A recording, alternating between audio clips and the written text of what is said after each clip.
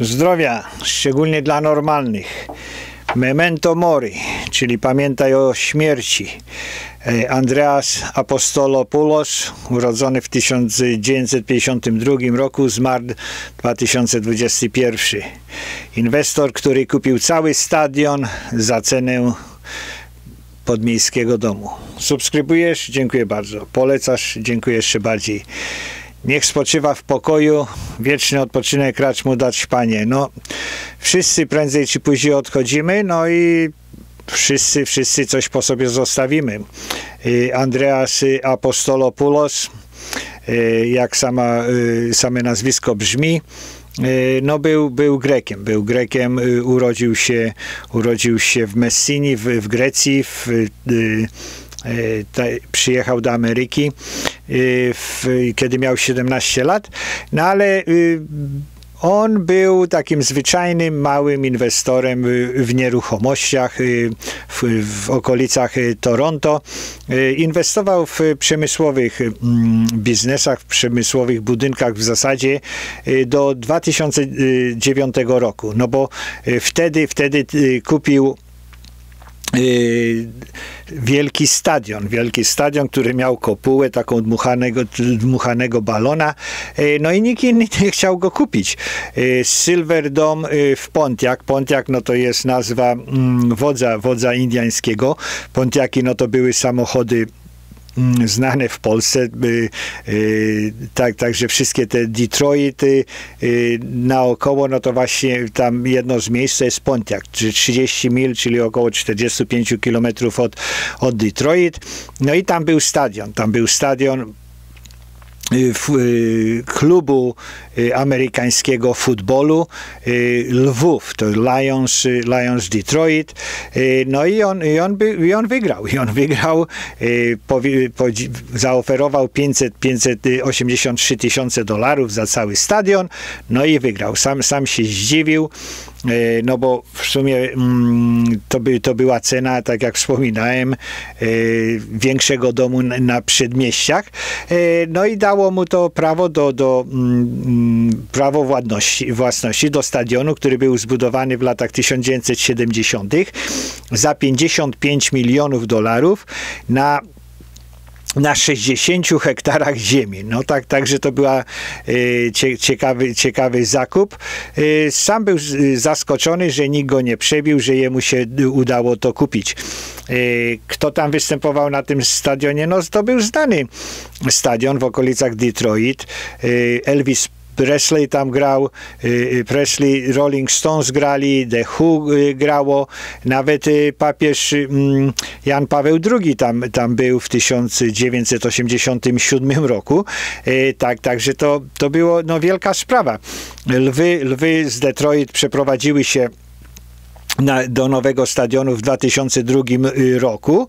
No i miasto Pontiac, które, które było właścicielem y, czy współwłaścicielem tego stadionu, no w zasadzie y, nie potrafiło znaleźć zastosowania, nie potrafiło tego wykorzystać, no i sprzedało. Sprzedali, sprzedali po prostu za tyle, ile mogli, żeby się, żeby się pozbyć. No i y, Andreas y, Apostolopoulos y, kupił to. No, Pontiac, Detroit, niedawno rozmawiałem o właśnie związkach zawodowych w Ameryce, co zabiło, co zabiło powiedzmy przemysł samochodowy. No to właśnie związki zawodowe zabiły. Co, co zabiło ten, ten stadion, no to też tam związki zawodowe, no bo fabryki samochodów splajtowały, no to 80 tysięcy stadion nie, nie byłby w stanie wypełniony, bo tam po prostu syfkiła i mogiła się zrobiła, ludzie, ludzie nie mieli pracy, to, to nie, nie chodzili.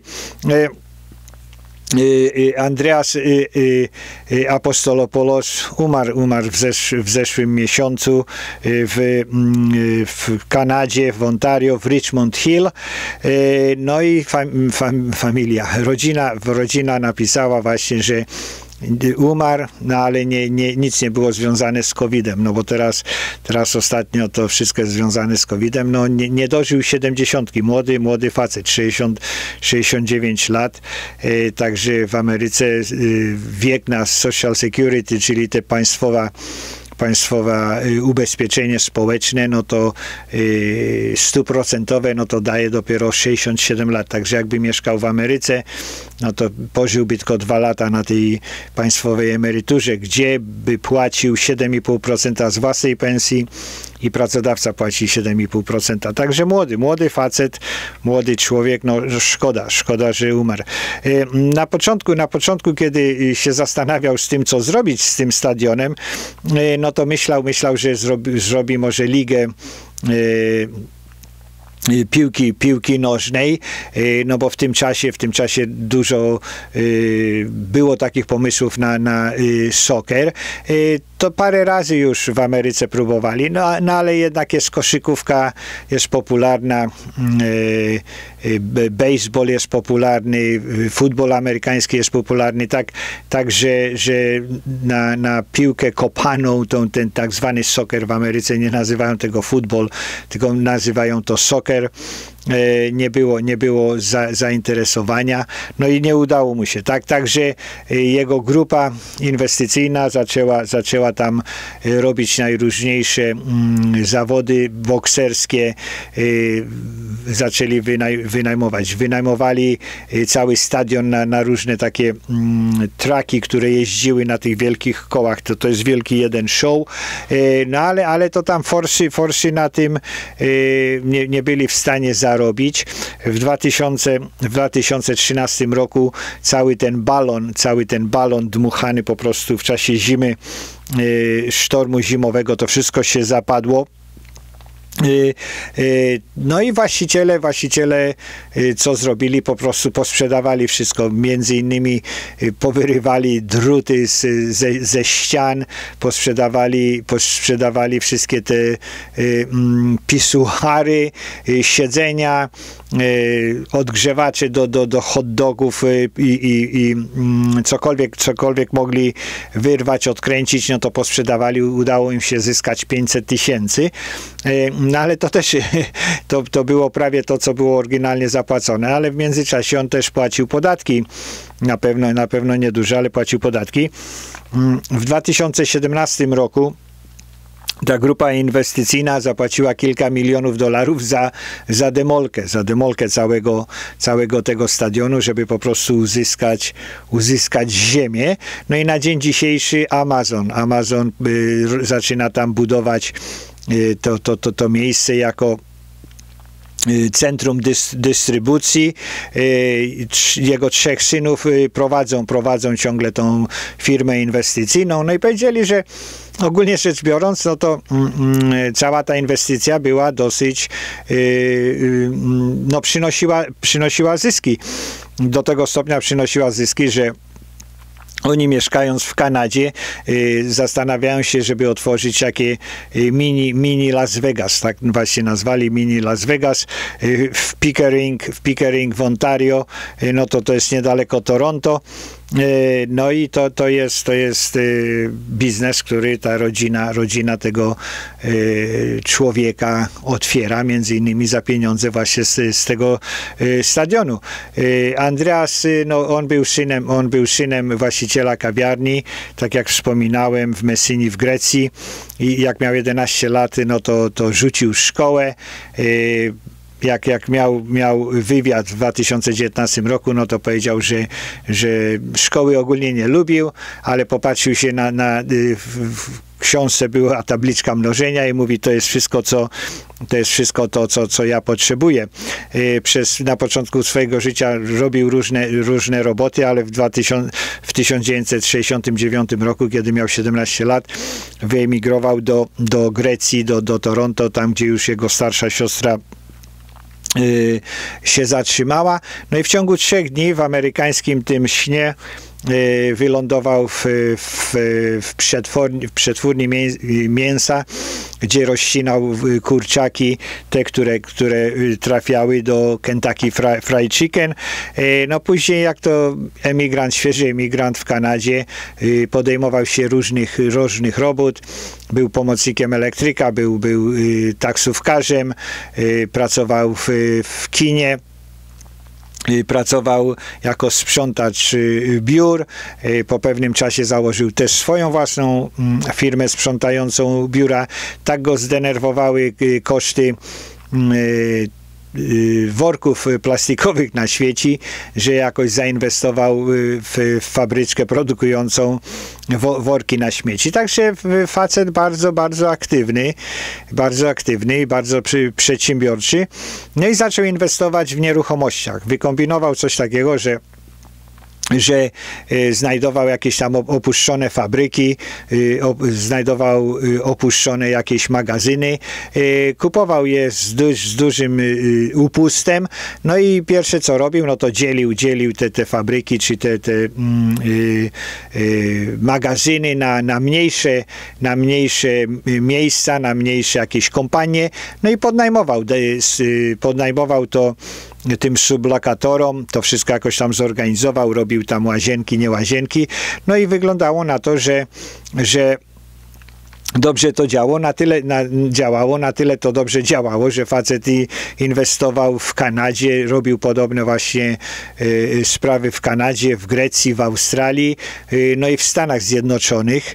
Y, Podobną metodę y, też robił facet, który teraz zbankrutował na wiele miliardów. Y, ta firma się nazywała We Office, czy or, jak, coś takiego. No właśnie, to jego idea to była taka właśnie, żeby większe biura podnajmować na mniejsze. No to Andreas Apostolopoulos właśnie pierwszy był, no i ten miliarder, no tyle tylko, że ten miliarder, no to on tam y, gotował książki, jak to mówią po angielsku, y, he was cooking the books. No ale, ale ten młody y, grecki y, mm, przedsiębiorca właśnie, właśnie to robił. Y, y, właśnie on wiedział, wiedział na początku, to mówił, jak miał wywiad y, z, y, z Wall Street Journal, że to nie jest ważne, ile się płaci za za e, mm, nieruchomość. Najważniejsze jest to, ile trzeba wsadzić, żeby to zreperować do, do porządku. No każdy normalny człowiek e, to rozumie. Akurat jemu ten, ten amerykański sens się, się jakoś tam udał. Y, lubił, y, powiedział, że, że polubił tą lokalizację w Pontiac, powiedział, że, że to było blisko właśnie dwóch autostrad y, jadących z, z Detroit. No i kiedy przyjechał, przyjechał do, do, do, na to miejsce, żeby popatrzeć, no bo on kupił to zaocznie, no to powiedział, że bardzo mu się podobało. W 2012 roku w 2012 roku, czyli 3 lata po kupieniu stadionu, kupił y, trzeci y, y, największy wieżowiec, mm, czyli drapacz chmur w Detroit to wielki, potężny, potężny budynek, biurowiec za 5 milionów. Kupił za 5 milionów, także cena wyszła 50 dolarów za, za metr kwadratowy. No w tym czasie, kiedy tak średnio w Ameryce cena za metr kwadratowy była 2000 E, dolarów. Także te Detroit zabite, zabite, zniszczone przez związki zawodowe i, i które wykończyły cały przemysł, doprowadziły do tego, że, że facet kupił y, za 5 milionów y, potężny, potężny wieżowiec. No i, i mm, budynek sam w sobie no to był półpusty, y, no i, i potrzebował, potrzebował sporo reparacji, no i y, ale on jako inwestor mówi, że Detroit, Detroit y, musi, musi się odbić, Detroit musi się odbić, mówi, bo jest, jest, jest miasto zbankrutowało, no bo faktycznie zbankrutowało, ogłosiło bankrupcję, no bo tam w mieście pracowało tych pasożytów, dużo tych urzędników, tam 70% pieniędzy z, y, z podatków to szło na utrzymanie emerytów, którzy pracowali wcześniej którzy pracowali wcześniej dla miasta i dla stanu. Także, że, że y, socjalizm tam kompletny wyssał, wyssał po prostu.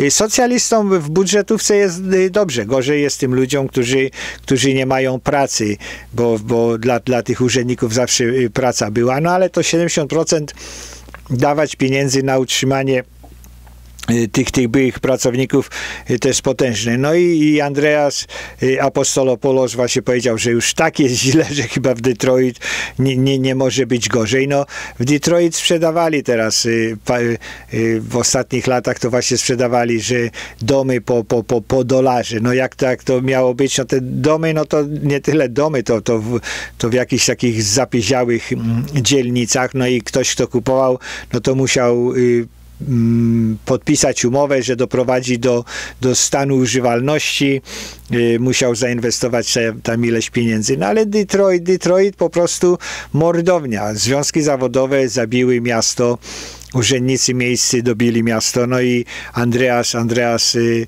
y, Apostolopoulos wierzył, wierzył w, ten, w ten stadion. Także, że no faktycznie miał rację, że nie, nie mogło być gorzej. No, w, człowiek y, zostawił żonę, trze, trze, trzech synów, pięć, y, pięcioro mm, y, wnuków, siostrę i trzech, trzech braci. Tak, także doradzał, doradzał właśnie swoim synom, mówi kupujcie cegły, nie kupujcie papieru. No i Niech spoczywa w spokoju. Wieczny odpoczynek racz mu dać, Panie. Zdrowia dla normalnych. Subskrybujesz? Dziękuję bardzo. Polecasz? Dziękuję jeszcze bardziej. Y, nie subskrybujesz? Serdecznie zapraszam. Tu są y, tu jest szałeczka do, do, do subskrypcji, dzwoneczek dzień dzień o codziennych powiadomieniach i do następnego, codziennego zdemonetyzowanego filmiku. Przesłanie dla normalnych. Głosujcie, głosujcie na Republikanów 2022-2024. Nie damy, nie damy się y, ukraść y, przez, przez komunistów. Y, pamiętajcie, że, że Bóg, honor, ojczyzna rodzina, uczciwość i tradycja, no to jest ważna sprawa. Przesłanie dla socjalistów, patrzcie się, co się dzieje, patrzcie się, co się dzieje z Bidenem, patrzcie się, co się dzieje z waszą partią, nienawidziliście Trumpa, nienawidziliście konserwatystów, no teraz macie, teraz macie ciężka cena, ciężka cena za to, yy, co, co głosowaliście. Zdrowia dla normalnych.